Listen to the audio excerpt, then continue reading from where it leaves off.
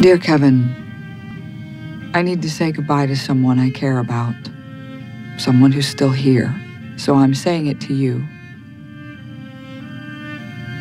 You were good to me, Kevin. And sometimes when we were together, I remembered who I used to be before everything changed. But I was pretending. Pretending as if I hadn't lost everything. I want to believe it can all go back to the way it was.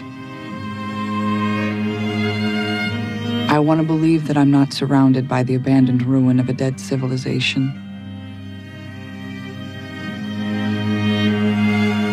I want to believe it's still possible to get close to someone. But it's easier not to. It's easier because I'm a coward. And I couldn't take the pain. Not again. I know that's not fair, Kevin.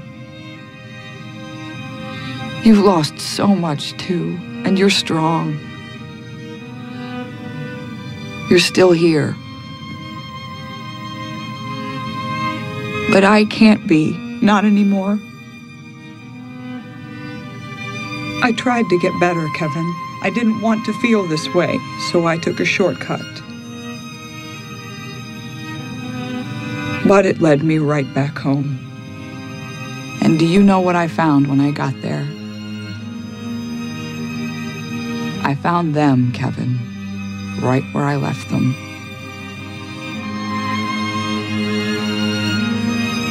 Right where they left me.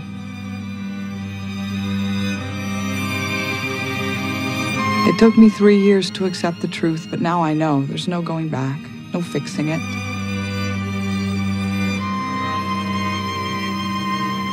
I'm beyond repair. Maybe we're all beyond repair. I can't go on the way I'm living, but I don't have the power to die. But I have to move towards something. Anything. I'm not sure where I'm going, just away. Away from all this.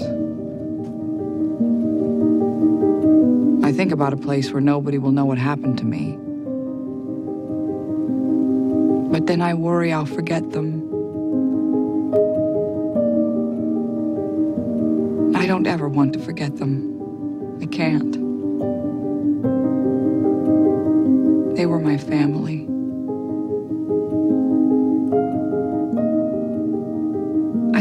Loved you, Kevin. Maybe you loved me too.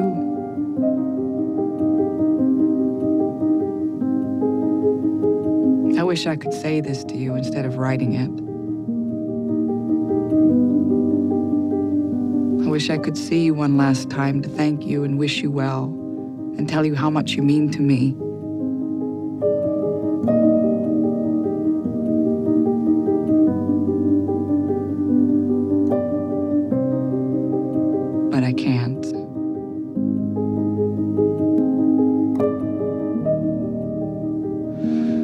Like I said, I'm a coward.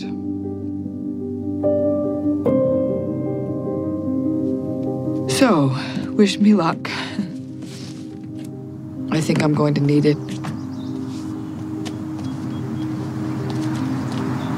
Love, Nora.